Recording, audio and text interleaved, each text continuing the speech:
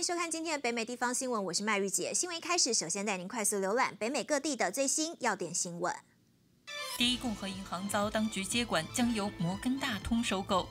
美国联邦存款保险公司 FDIC 今晨表示，加州监管单位已关闭第一共和银行。第一共和银行在八个州的八十四间分行，今天将成为摩根大通银行的分行，重新对外开放。摩根大通银行将承接加州地区性银行第一共和银行的所有存款与多数资产。四月二十三号，第一共和银行公布的第一季储户存款锐减超过一千亿美元。周一晚风暴进入南加，周二至周四降雨可能性大增。周日晚上，一个快速风暴向内陆延伸。周一，在文图拉县和洛杉矶县出现小雨。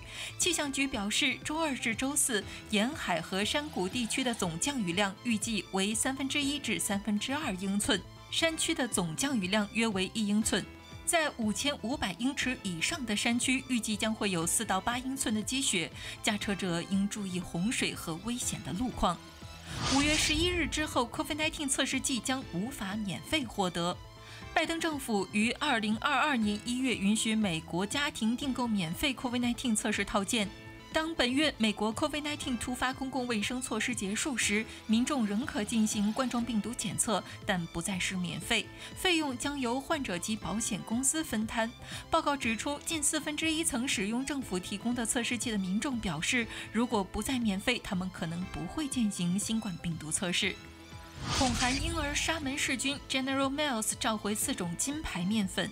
General Mills 今天宣布召回二磅、五磅、十磅袋装的金牌未漂白和漂白面粉，到期日为二零二四年三月二十七日和二十八日。此次召回是因为可能含有婴儿沙门氏菌，其他类型的金牌面粉不受此次召回的影响。已购买该产品的消费者可以打给 General Mills 客服要求退款。中天中望整理报道。